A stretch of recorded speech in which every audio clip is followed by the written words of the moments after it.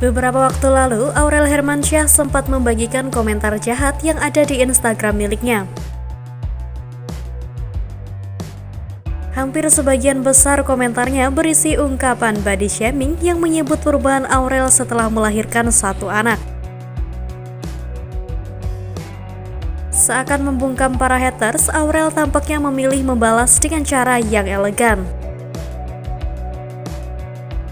Ya, Putri Sulung Krisdayanti ini membuktikan bakatnya menjadi model catwalk.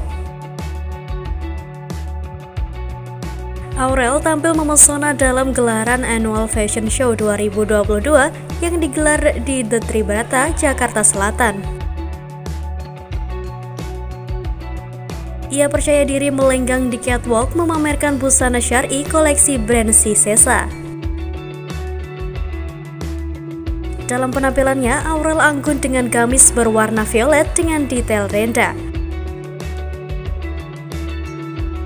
Sentuhan Swarovski yang dipadukan bahan tile pada gamis yang dikenakan Aurel juga menambah kesan elegan.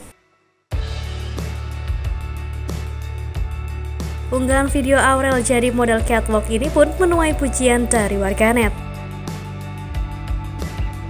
Gimana menurutmu Sobri? Tulis di kolom komentar.